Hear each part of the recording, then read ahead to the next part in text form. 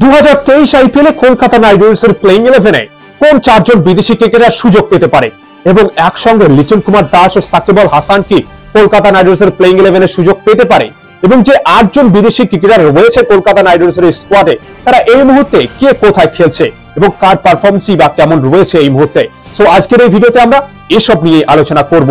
এবং কোন চারজন ক্রিকেটার সুযোগ পেতে পারে পারফরমেন্সের ভিত্তিতে এই মুহূর্তে, এটাই আপনাদের জানাব। সো সবার প্রথমে বলে রাখি আপনাদের যে যে আটজন ক্রিকেটার রয়েছে, তাদের মধ্যে থেকে দুজন বাংলাদেশি ক্রিকেটার, লিটন কুমার দাস ও সাকিব আল হাসান। এই মুহূর্তে তারা বাংলাদেশ প্রিমিয়ার লিগে খেলছে। অন্যদিকে চারজন cricketer Rahmanullah Gurbaz, David Wiese, Sunil Narine এবং আন্দ্র ওয়াসাল তারা ইন্টারন্যাশনাল টি টোয়েন্টি লিগ দুবাইতে রয়েছে। তারা দুবাই ইন্টারন্যাশনাল টি টোয়েন্টি লিগে খেলছে এবং অন্যদিকে নিউজিল্যান্ডের দুজন ফাস্ট বোলার রয়েছে কলকাতা নাইট রাইডার্সের স্কোয়াডে, লকি ফার্গুসন এবং টিম সাউদি। লকি ফার্গুসন এই মুহূর্তে ভারত এবং নিউজিল্যান্ড টি টোয়েন্টি এবং ওডিআই সিরিজ খেলবে। সেই টিমে সেখানে নিউজিল্যান্ডের টিমের হয়ে রয়েছে লকি ফার্গুসন এবং টিম সাউদি এই মুহূর্তে রেস্টে রয়েছে। সো কে কেমন পারফরমেন্স করছে এবং কার সঙ্গে বা কার কম্পিটিশন রয়েছে?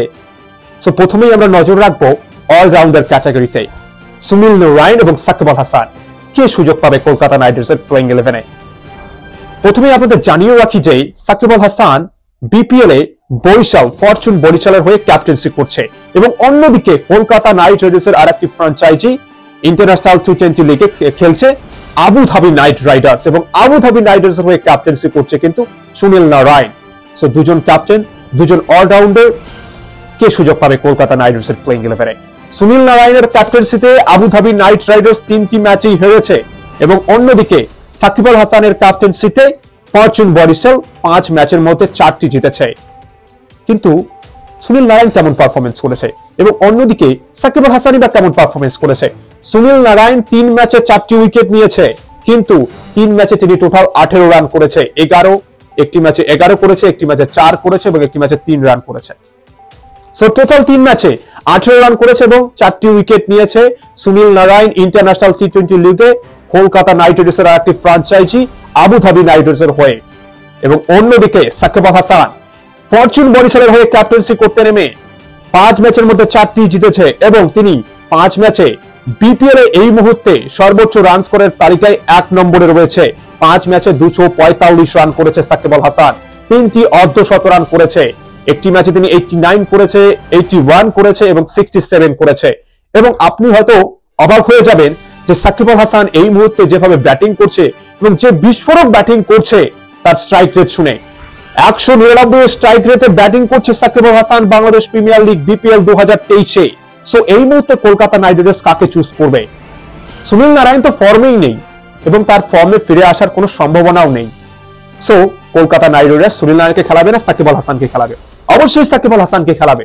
ব্যাটিং এ অসাধারণ ব্যাটিং করছে এবং তিনি বোলিংটাও ভালো করছেন।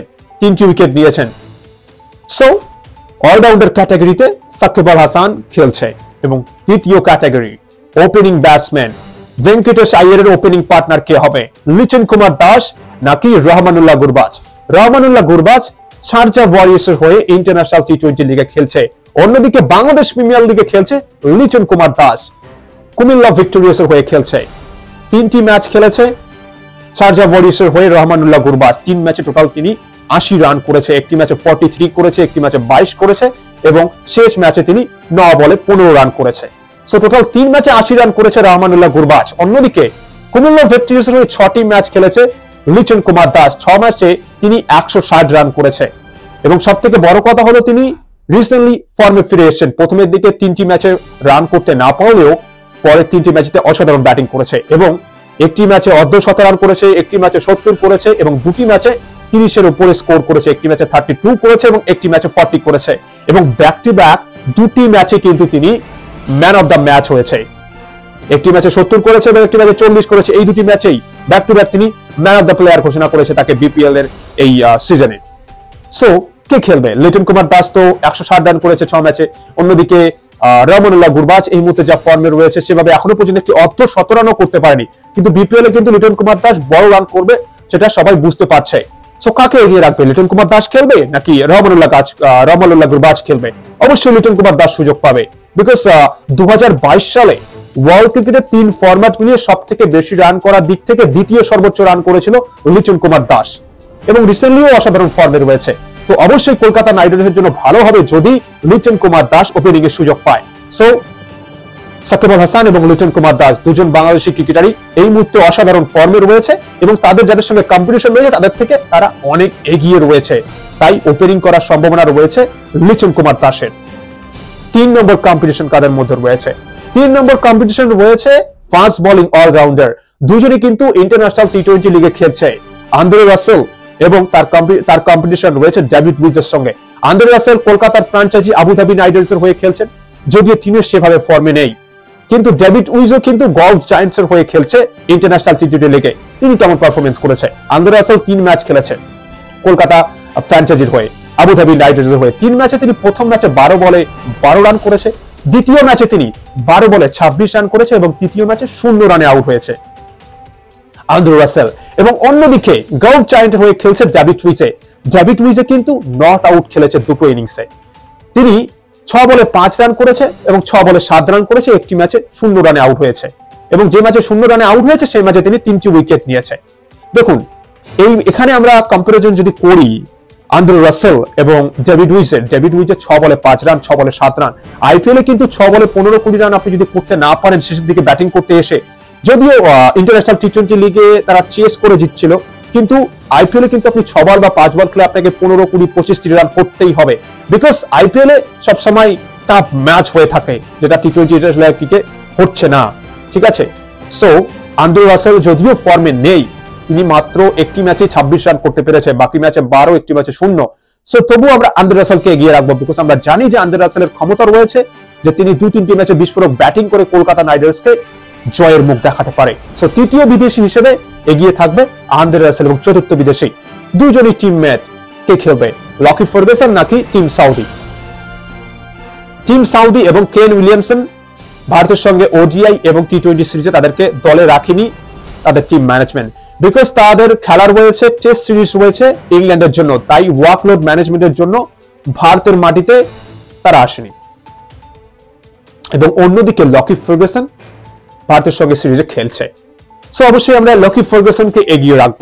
যদিও এই দুজনকে কোঅর্ডিনেট করে খেলবা, খেলাবে কলকাতা নাইট রাইডার্সের টিম ম্যানেজমেন্ট বাচ্চা এই মুহূর্তে যেহেতু আইপিএল এর আগেই ভারতের মাটিতে খেলছে সো লকি ফার্গুসনকে আমরা এগিয়ে রাখব। সো চারজন বিদেশি কারা হচ্ছে?